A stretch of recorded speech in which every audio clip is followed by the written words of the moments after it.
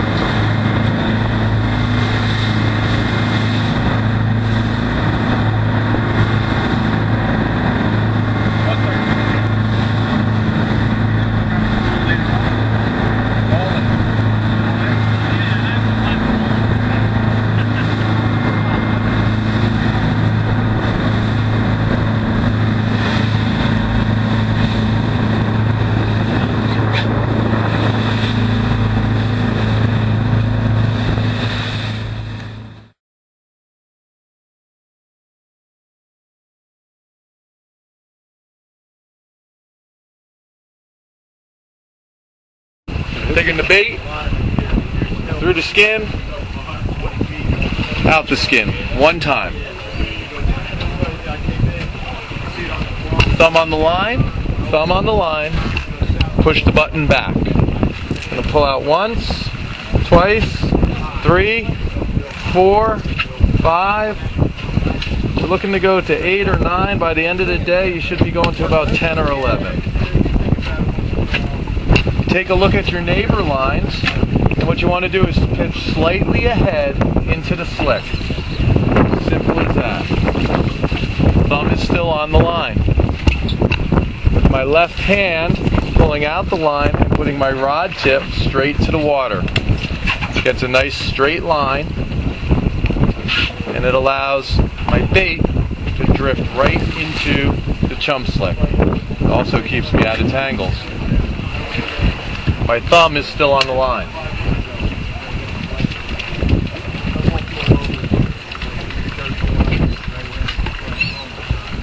As the line catches into the chum slick, I'm going to come back. I'm going to pull more line out and just let it go out naturally through my fingers. I'm not going to twiddle with the line. When the fish hits, I don't want my fingers to go through the eye.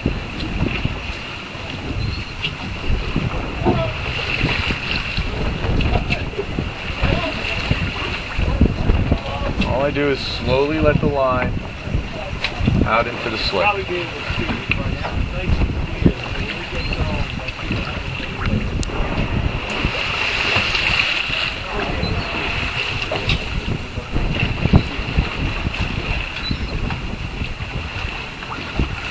waiting for is for the fish to hit. When he does, my reel's going to run and I'm going to press down with my thumb. But until then, I just simply keep my thumb on the line.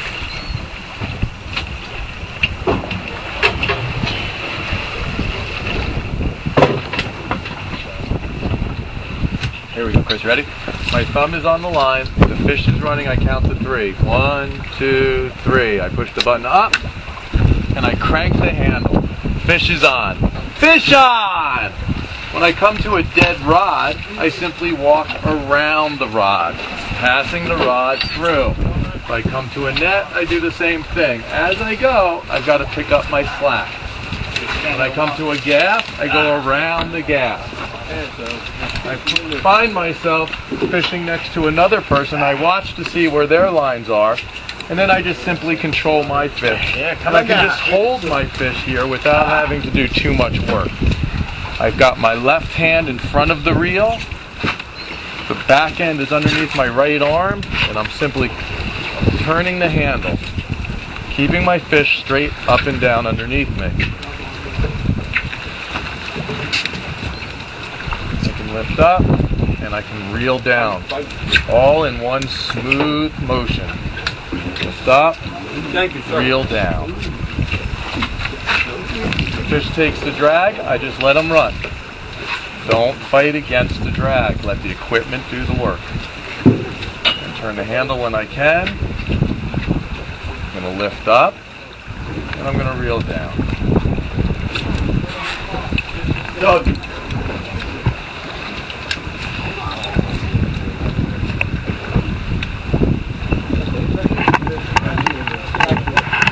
Yeah, I just had a sandwich. When feeding fish, I'm going to call for the gaff. Gaff! Right away, sir. If a deckhand isn't available, I just let him swim around.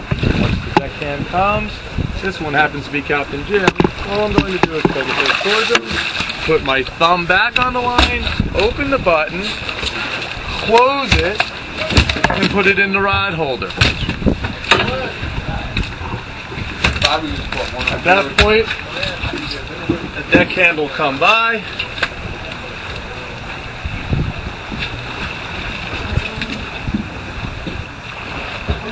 Pick the fish up. And he'll take the hook off.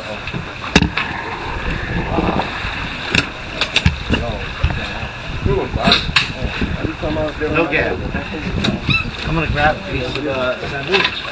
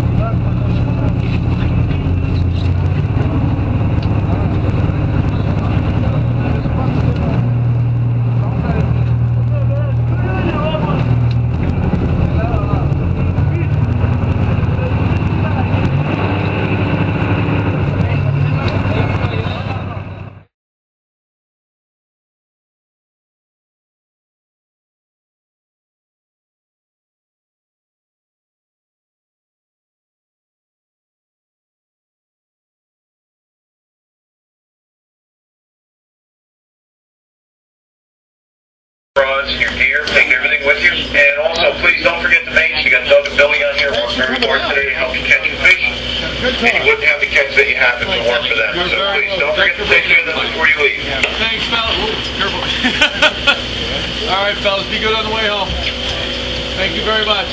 We went the back in, it stopped And then it just, and then it just like someone turned the hose on. Jimmy, you turned right back in, it stopped raining, I took my slickers off, ran outside and it started raining again, I can't win. One step more down. Okay. Steps down. All right, guys. Okay. Thank you very much, guys. Thank you. Thank you. Hold on. You good? Are you thinking of a security system for the house? Yeah. Right, because the guy that did mine right over here, he's got his boat right here. Three fifty-seven. Archer Protect. Yeah, yeah, hard that. That's who I call.